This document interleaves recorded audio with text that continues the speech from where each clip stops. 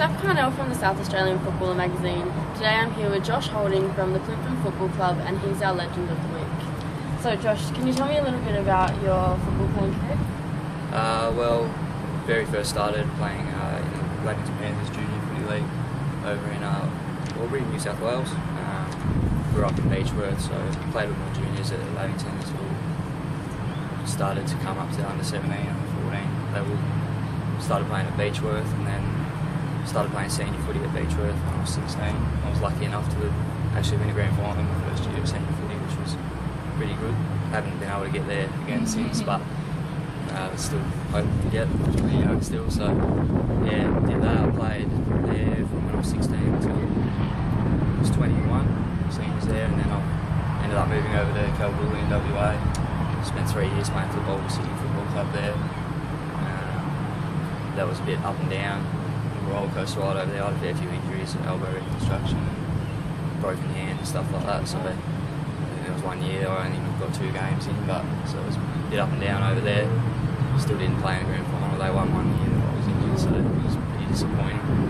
Um, but yeah, so that's pretty much it for the senior footy at Beechworth for Boulder, and then yeah, obviously had uh, Michael Sweatman, our coach, gave me a call late last year. One of my best mates and played the club, so yeah, I thought why not go to over and Yeah. really enjoying it, really enjoying the club. It's a great club.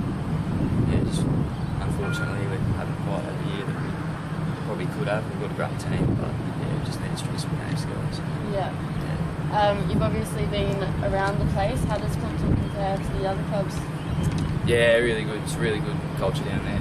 Um, obviously, being new to a club, you're always stressing about getting there and not getting along with people and that. But everyone's been really welcoming there, and the footy's good. It's tip free. Um, I'll probably I got a bit of a reality check when I got here. I was sort of thinking, oh, it's three. I won't be that much but it's definitely a pretty good level of footy I feel. Yeah. And um, yeah, just it's really good. The trainers, they're like always really good volunteers around the club. Joe Judd does everything week in, week out. So yeah, no, it's a really good club. Yeah.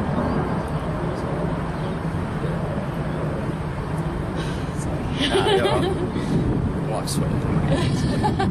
no, you're doing well. Glad it's not live. oh god, I would be screwed if it was live. I make too many mistakes with this. Yeah, yeah. How long have you been doing it for? Um, just since the start of the season. Oh, yeah, cool. So, yeah. Um, Why are they talking that? no, I shouldn't. But if you can, just make it happen. Yeah, I'll try and get up a bit. Yeah. All right. Uh, back to it then. Yeah. Um, you mentioned that. Uh, sorry. You mentioned that. Sorry. um, you mentioned that grand final in your first year of senior footy, and I expect that would have been a pretty good highlight. But is there anything else that you'd like to reflect on? I'm just going to ask this question again. Sorry. Yeah. Um, so you mentioned that you got uh, won that premiership when you were in your first. I do this with me. Sorry. Um, so you mentioned that premiership in your first year, first season of uh, senior footy. Um, what other highlights? That's obviously the main one, obviously team success. Uh, growing up in juniors, I won obviously a couple of best and that. Haven't got there in senior footy yet. Um, but yeah, just really that's probably the only one to be honest. Like, that's premierships is what you play footy for. Like, that's it. Um, obviously, just I just love playing the game. So. Yeah. I think we need to redo that. Just okay.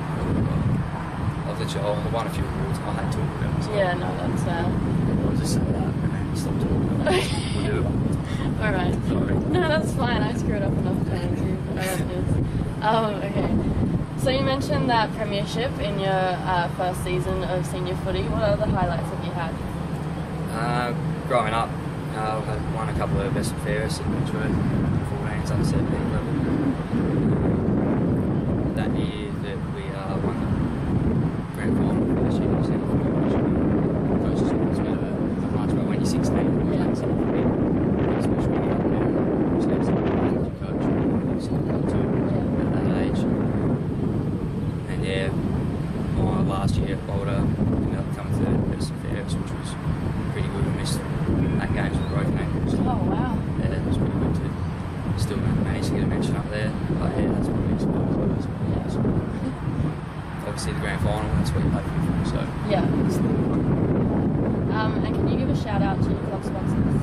uh, yep, yeah. So uh, thanks to uh, Bradford Homes, Scott Salisbury Homes, Allstate Construction, and uh, Dunkley Electrical, and Watermark Hotel. Uh, thanks for that.